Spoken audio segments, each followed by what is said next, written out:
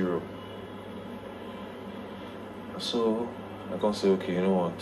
I just have to move on. He said if I pack my things from the apartment, because then I just got my green card and I, I didn't have a job yet at that time. So that's how I just joined military. What? Yeah, that's how I joined the military. As I joined the military, took my conditional residency card, made me a citizen at once.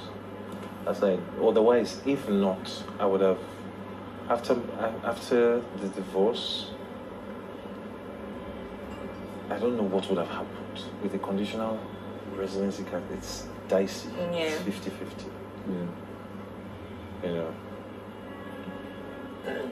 Is, is she married now? That's deep. I don't know. She, well, she blocked me on Facebook till since then. Till now. I used to best with your best friend. We're still very close. Very close. Since 2009 when I met her. She was the first girl I met when I, well, one of the first girls I met when I came to America in 2009. We're still